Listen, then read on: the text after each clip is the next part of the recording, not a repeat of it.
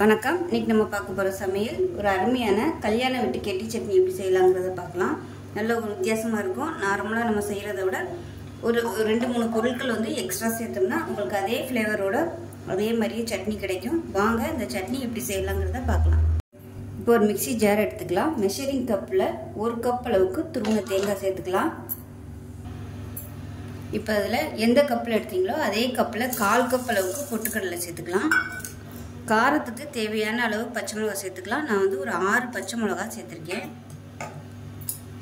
இது கூடவே நல்லா ஃப்ரெஷ்ஷான கருவேப்பிலை ஒரு ரெண்டு கொத்து சேர்த்துக்கலாம்.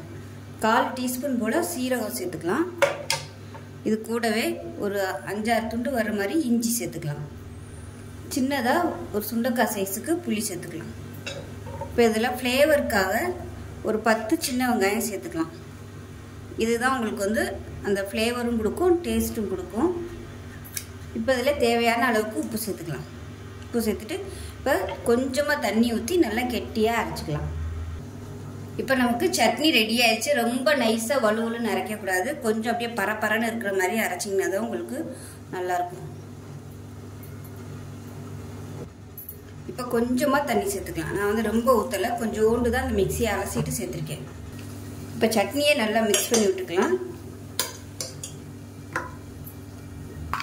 இப்போ இதில் பார்த்தீங்கன்னா கடுகு வரமிளகா பெருங்காயம் கருவேப்பிலை போட்டிருக்கேன். கேஸ் அமர்த்திட்டு கால் டீஸ்பூன் போல் சீரகம் சேர்த்துக்கலாம். முதலே சேர்த்தோம்னா கறி போயிடும் சீரகம் சேர்த்துட்டு நல்லா அப்படியே பொரிய விட்டுக்கலாம். அந்த சூட்லேயே வந்து நல்லா பொரிஞ்சிடும்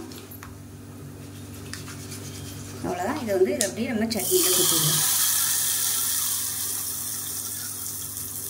அவ்வளோதான் அருமையான கல்யாண வீட்டு தேங்காய் கெட்டி சட்னி ரெடி ஆயிடுச்சு டேஸ்ட்டு சூப்பராக இருக்கும்.